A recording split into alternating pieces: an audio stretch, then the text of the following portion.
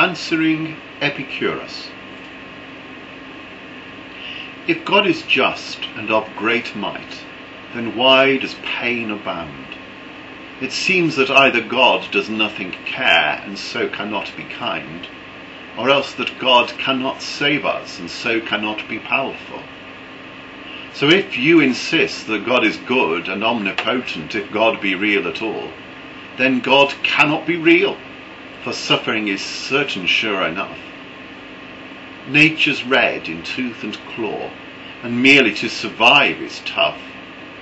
Unanswered Abel's blood to heaven does clearly call.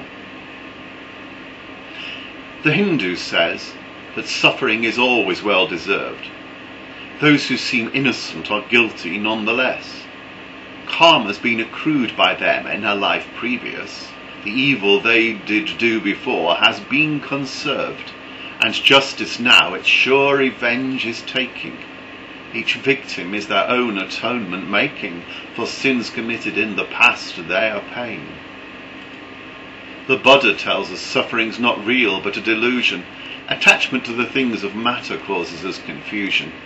The soul must be freed from physical encumbrance and rise above the realm of pain and find its peace in merging selflessly and wholly with the One by meditation and ceaselessly repeating Om. The deist tells us that God's justice is remote, for after all we're tiny things of little note. God observes the world from a great distance, caring nothing for our plight. For though God's great, he looks at us askance. He has no empathy with our life's fight against suffering, decay, and faction. Our pain is not a worthy motive for God's action.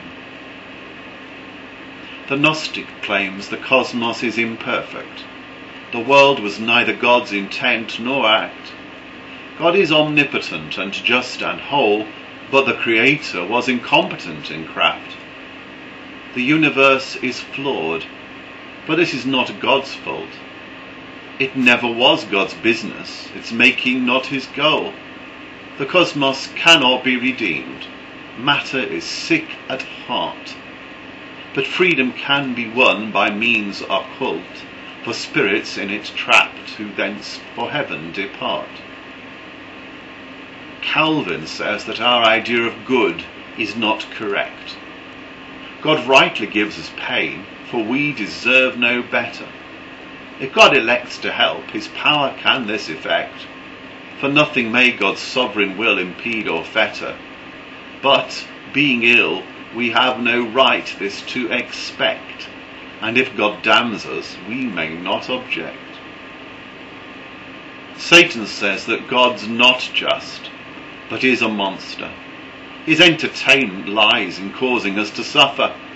There is no good or ill, but only power, and those who are afraid to exercise their share. In order to survive, you have to fight and strive. Don't look for any help. You are on your own. Learn that you can only live and thrive at the expense of those you've battered down.